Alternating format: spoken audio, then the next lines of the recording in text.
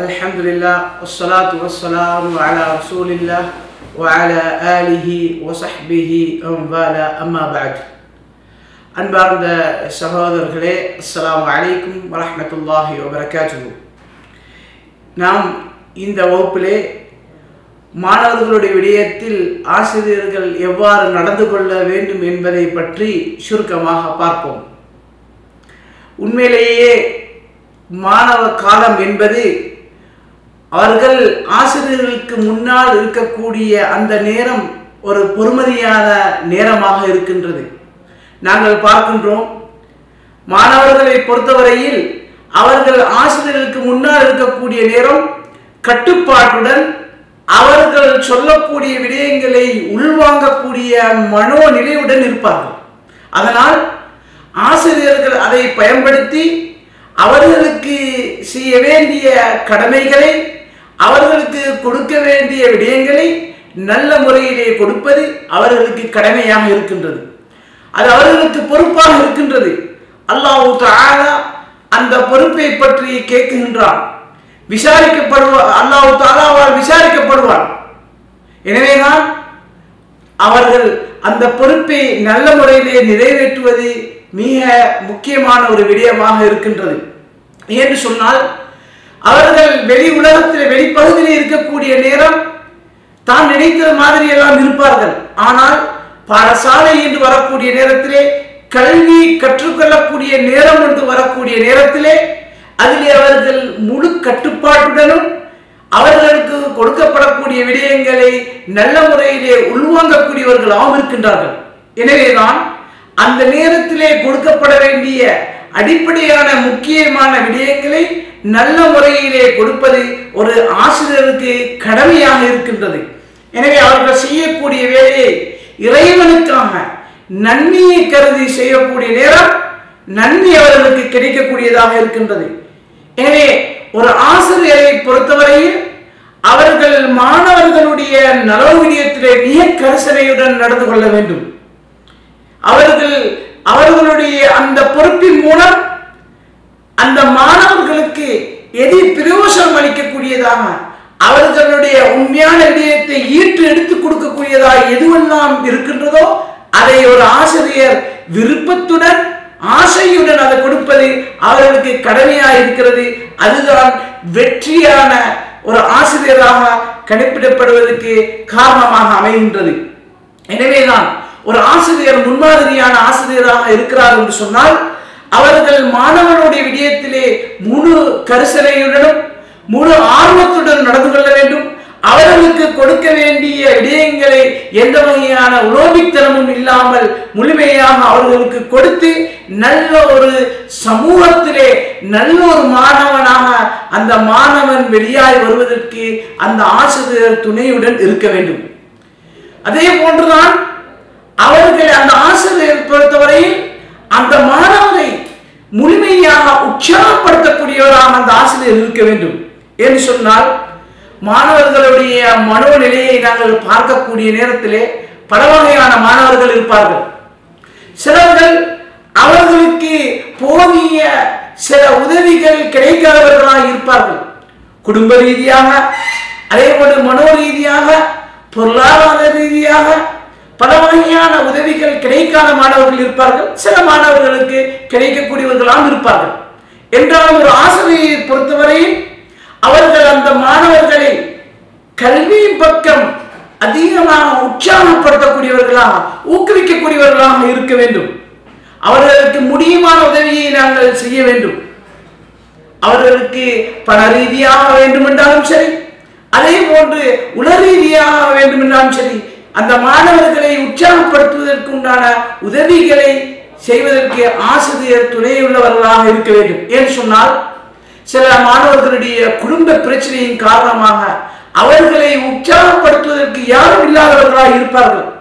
சில வேளை பெற்றோர்களை விட்டு பிரிந்த மாணவர்களாக இருக்கலாம். என்றால் சில வேளை கணவன் மனைவி பிரிந்ததினால் அந்த மாணவன் தாக்கப்பட்டு தனிமையிலே வாழக்கூடிய சில நிலைமையிலே அந்த மாணவர்கள் இருக்கலாம். அதே போன்று குடும்பத்தில் இருக்கக்கூடிய ப- பொருளாதாரம் பலவீனம் காரணமாக அந்த மாணவனை உற்சாகப்படுத்த முடியாமல் போயிருக்கலாம்.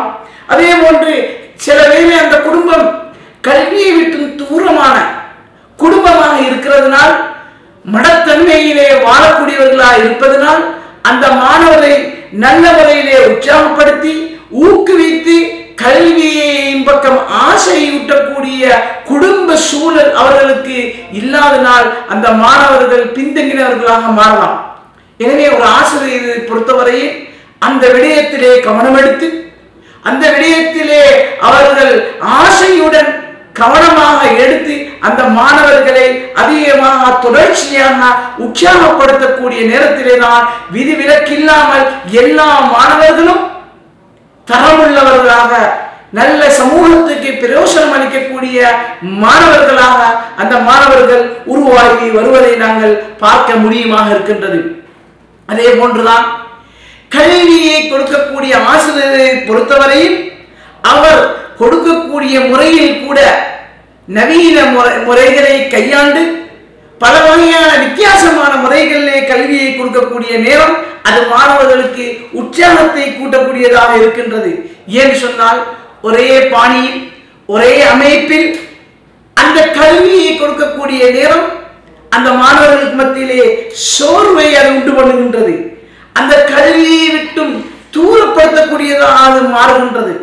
அதுக்கு மாற்றமாக நல்ல முறைகளை கையாண்டு அழகிய முறையில் அங்கீகரிக்கப்பட்ட முறைகளை கையாண்டு அதன் மூலம் வித்தியாசமான அமைப்பிலே அந்த மாணவர்களுக்கு கல்வியை புகட்டக்கூடிய நேரத்திலே அது விருப்பமுள்ள ஒரு கல்வியாக தன்னுடைய உள்ளத்துக்கு பிரியமுள்ளதா அது மாறி அதில் கொடுக்கப்படக்கூடிய தகவல்களை விருப்பத்துடன் மாணவர்கள் எடுக்கக்கூடியதை நாங்கள் பார்க்கின்றோம்.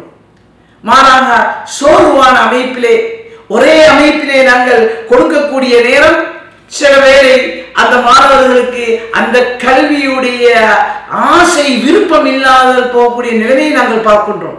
என்றாலும் கொடுக்கக்கூடிய முறைகள் அது அங்கீகரிக்கப்பட்ட முறையாகவும் அதை பிரயோசனம் உள்ள முறையாகவும் அது ஆராய்ச்சி செய்யப்பட்டதா இருந்தால்தான் அந்த முறைகளை கையாள வேண்டும். எனவே வித்தியாசமானங்கள் கொடுக்கிறோம் என்பதனால் அவர்கள் நினைத்ததெல்லாம் கொடுக்க முடியாது. மாறாக இன்று பயிற்றுவிக்கப்பட்ட நல்ல முறைகளை ஆராயப்பட்டதாக இருந்தன்னு சொன்னால் அது பிரயோசனம் உள்ளதாக அங்கீகரிக்கப்பட்டதாக இருந்தன்னு சொன்னால் அவ்வாறான முறைகளை கையாண்டு கொடுத்தன்னு சொன்னால் ஒரு விருப்பமுள்ள கல்வியை எடுக்கக்கூடிய மாணவ சமூகத்தை எங்களுக்கு உருவாக்க முடியுமாக இருக்கின்றது. அது மாத்திரமல்ல அந்த மாணவர்களை பொறுத்தவரையில் வெறுமனே ஆசிரியர்கள் தகவல் கொடுப்பது மாத்திரம் இல்லாமல் அவர்களாக வாசிக்கக்கூடிய ஆசையை அவர்களுக்கு நாங்கள் உண்டு பண்ண வேண்டும்.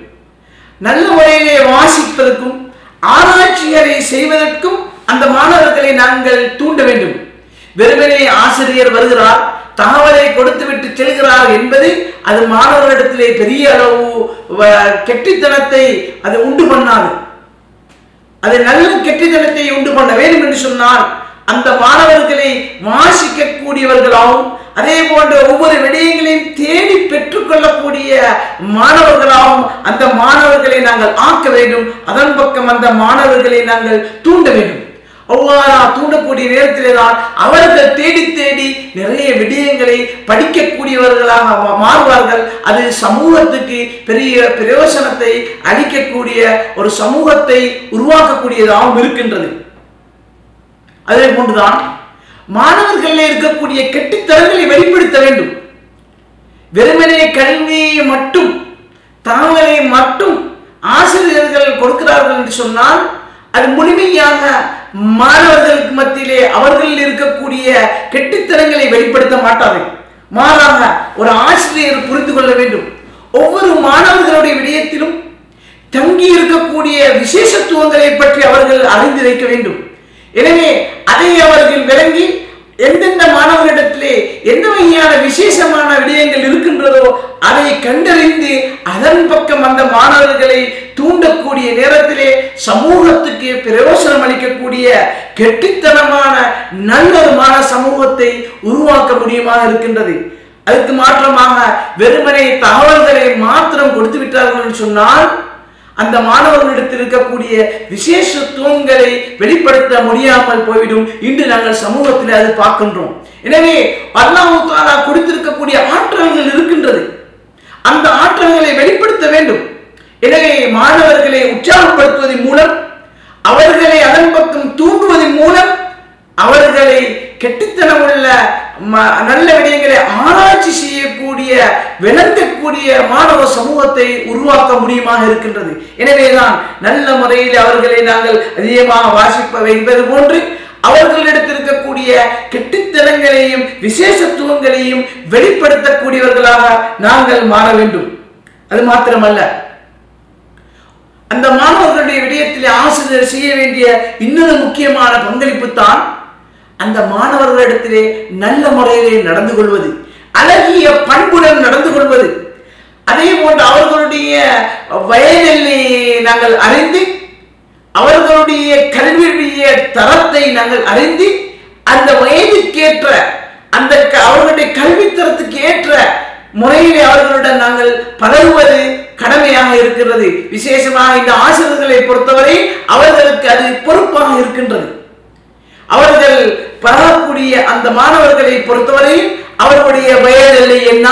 அவருடைய கல்வித்தரம் என்ன என்பதை அறிந்து அழகிய முறையில் அவர்களுக்கு அந்த கல்வியை போட்டுவது ஒரு ஆசிரியருக்கு கடமையாக இருக்கின்றது.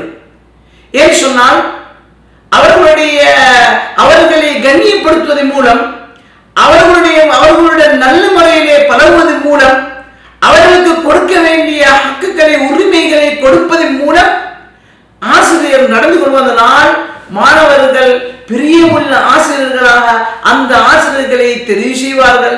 அது அந்த மாணவ சமூகத்தை வளர்ச்சியுள்ள கெட்டித்தனமான ஒரு சமூகமாக உருவாக்குவதற்கு அது காரணமாக அமைகின்றது. எனவேதான் நல்ல முறையில் நல்ல ஒரு சமூகத்தை உருவாக்கக்கூடிய ஆசிரியர்களாக நாங்கள் மாறிவிடுவோமாக. அல்லாஹு தானா நம் அனைவருக்கும் அருள் பாலிப்பானாக. வாசு தாவானா அனில் ஹம்துலில்லாஹி ரப்பில்